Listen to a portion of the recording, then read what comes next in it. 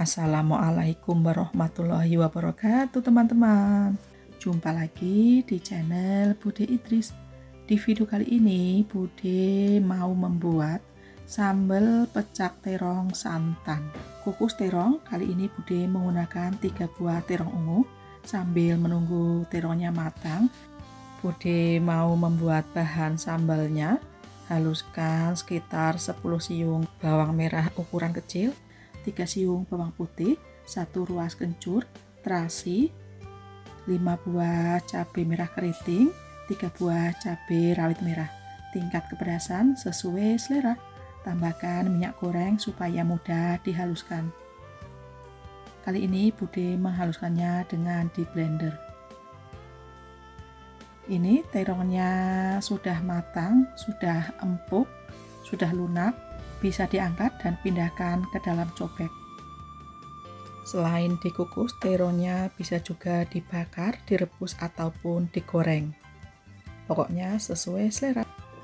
Tuang bumbu yang sudah dihaluskan ke dalam wajan atau pan. Tidak perlu menambahkan minyak goreng kembali karena waktu Bude menghaluskan bumbunya sudah diberi minyak goreng. Ditumis, digongsreng-gongsreng sampai harum sampai tanak supaya tidak mudah basi. Ini bumbu sudah harum, masukkan santan sekitar 250 ml, tambahkan garam, kaldu bubuk masing-masing setengah sendok teh, dan juga gula merah secukupnya. Diaduk-aduk supaya bumbu larut dan tercampur merata. Ini sudah mendidih, diaduk-aduk terus supaya santan tidak pecah. Kemudian masukkan daun kemangi yang sudah disiangi dan dicuci bersih. Matikan api dan diaduk-aduk sampai tercampur merata. Jangan lupa koreksi rasa, apa yang masih kurang bisa ditambah. Penyet-penyet terong yang sudah direbus Selain menggunakan terong ungu, teman-teman bisa juga menggunakan terong hijau atau terong bulat yang buat lalap.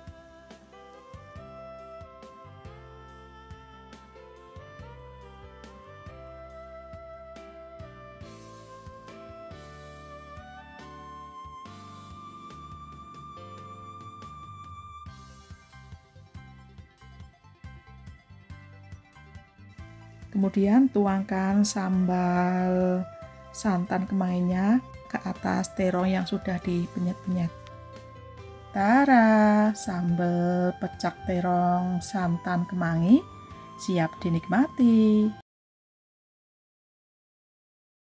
Di video kali ini, Bude mau membuat ikan bakar nila bumbu merah khas Padang. Siapkan dua ekor ikan nila dan beri perasan air jeruk nipis. Ini untuk mengurangi bau amis pada ikan. Dan setelah diberi perasan air jeruk nipis, didiamkan sekitar 10 menit. Adapun bumbu-bumbunya ada 4 siung bawang merah, 3 siung bawang putih, 2 butir kemiri, jahe, kunyit, lengkuas masing-masing satu ruas jari, cabai merah keriting, semua sudah dipotong-potong, garam, kaldu bubuk masing-masing setengah sendok teh, tambahkan minyak goreng dan juga setengah bungkus santan instan. Kali ini Bude menghaluskannya dengan di blender.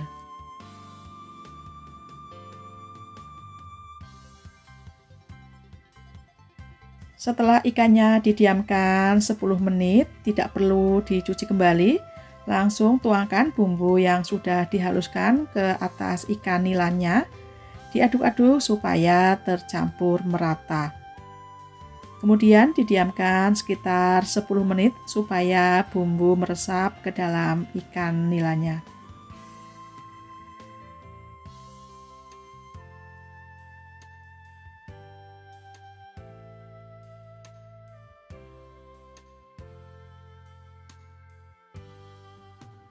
Ini setelah ikan didiamkan sekitar 10 menit, bakar ikan memakai arang, teflon, atau juga alat grill seperti ini.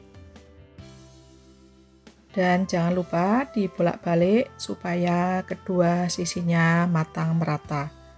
Setelah dibolak-balik, ini kemudian diberi olesan bumbu merahnya lagi. Dan lakukan beberapa kali sampai ikannya matang.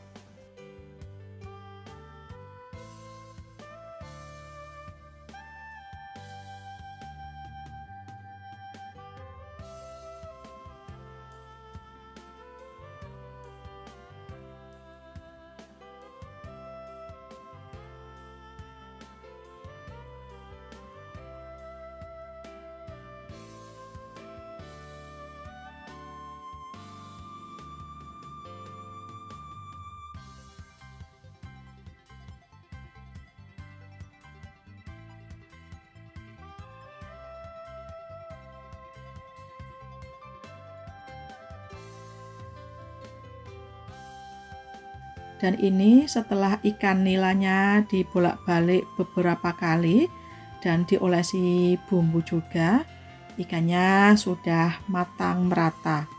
Segera diangkat dan siap disajikan. Tara, ikan bakar nila bumbu merah khas Padang siap dinikmati.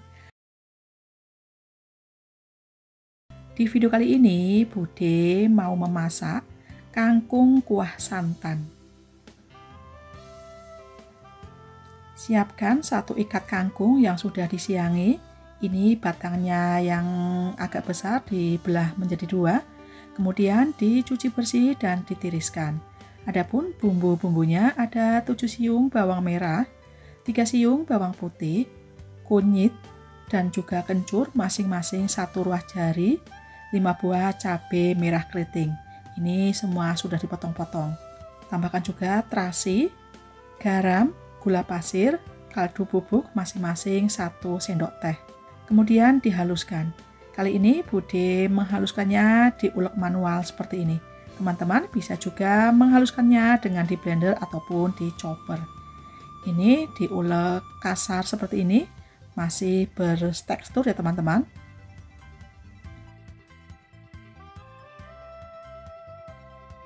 Tambahkan satu ruas lengkuas yang digeprek.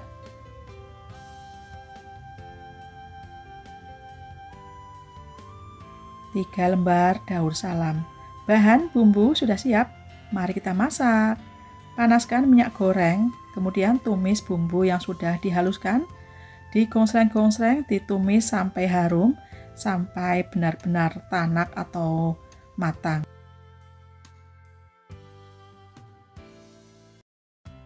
Ini bumbu sudah harum, sudah tanak. Tambahkan air secukupnya atau sekitar 300 ml. Tambahkan juga setengah bungkus santan instan. Diaduk-aduk supaya semua bumbu tercampur merata. Diaduk-aduk terus supaya santan tidak pecah. Setelah santan mendidih, masukkan kangkungnya diaduk-aduk memakai api yang besar ya teman-teman supaya kangkungnya tetap hijau. Tidak perlu ditutup karena ini sayur kangkung cepat matang. Cukup dibolak-balik terus seperti ini. Dari aroma terasi dan kencurnya sungguh sangat menggoda. Teman-teman wajib coba loh. Ini kangkungnya sudah matang. Jangan lupa koreksi rasa apa yang masih kurang bisa ditambah siap disajikan.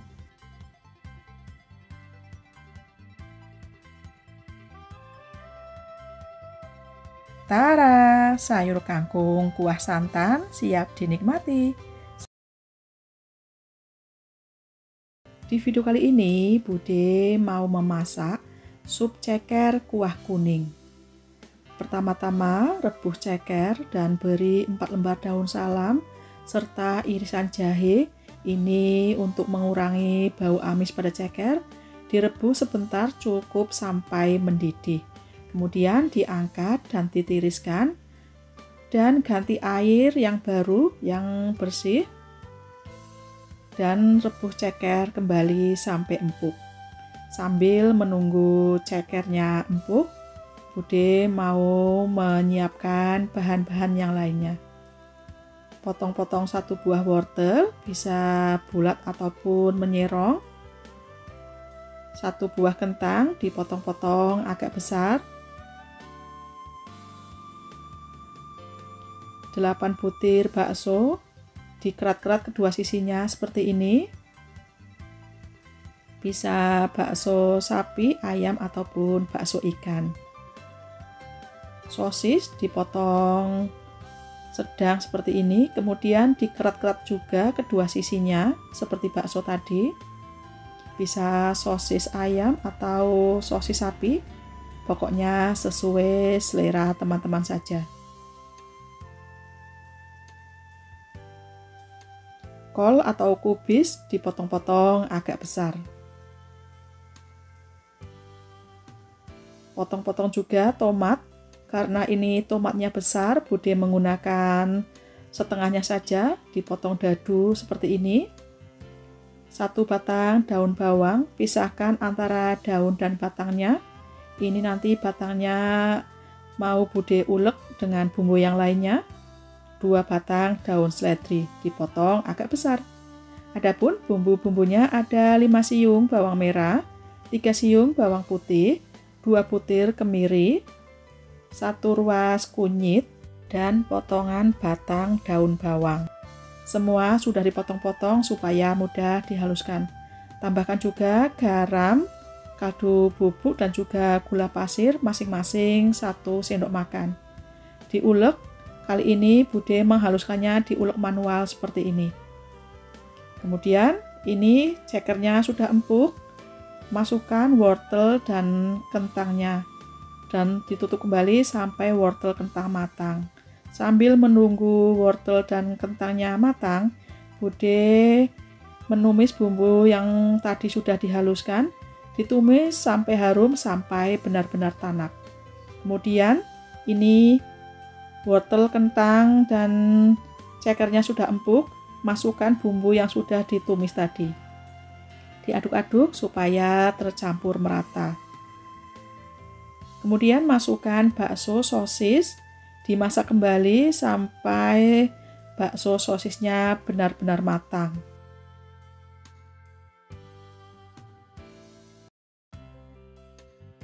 Ini bakso sosisnya sudah terapung, tandanya sudah matang.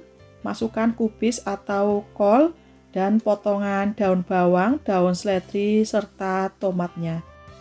Dimasak sampai kubis, daun bawang, daun seledri, dan tomatnya layu. Tidak perlu terlalu lama ya teman-teman.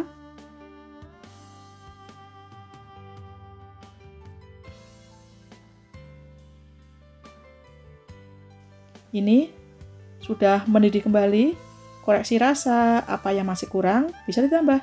Sudah matang, siap disajikan. Sup ceker kuah kuning. Dinikmati selagi hangat ataupun sudah dingin, sama-sama enaknya. Teman-teman wajib coba loh. Terakhir taburi dengan bawang merah goreng supaya lebih enak dan lebih mantap pastinya. Tara, sup ceker kuah kuning siap dinikmati. Di video kali ini, Bude mau memasak sayur bobor lembayung. Siapkan satu ikat sayur lembayung. Ini sudah disiangi, dicuci bersih, dan juga ditiriskan. Setengah papan tempe. Adapun bumbu-bumbu yang dihaluskan ada sekitar 6 siung bawang merah, 3 siung bawang putih, 2 butir kemiri, 1 ruas kencur, setengah sendok makan ketumbar butiran. Kalau teman-teman tidak ada ketumbar butiran, bisa menggunakan ketumbar bubuk. Tambahkan garam, kaldu bubuk, gula pasir, masing-masing 1 sendok makan. Ini garam, kaldu bubuk, dan juga gula pasirnya diulek bareng bawang berambang supaya mudah dihaluskan.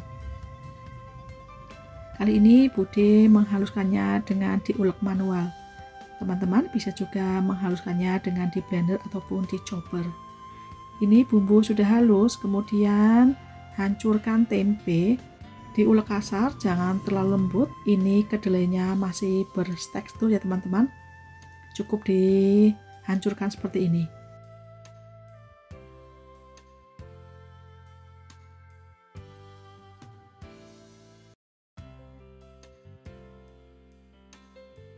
Bahan bumbu sudah siap, mari kita masak. Didikan air, ini sekitar 1 liter. Kemudian masukkan bumbu yang sudah dihaluskan. Tambahkan 4 lembar daun salam dan tunggu sampai mendidih. Ini kuah sudah mendidih, masukkan sayur lembayungnya. Diaduk-aduk dan pastikan semua terendam kuah.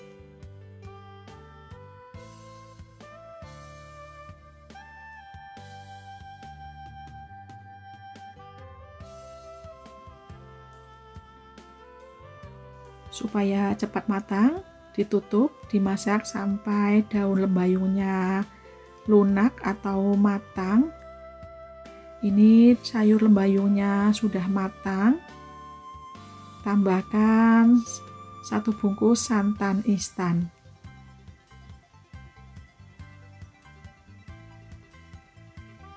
Dan diaduk-aduk terus supaya santan tidak pecah dimasak sampai kuah mendidih kembali. Ini sayurnya sudah matang, kuah sudah mendidih kembali. Jangan lupa koreksi rasa, apa yang masih kurang bisa ditambah. Siap disajikan.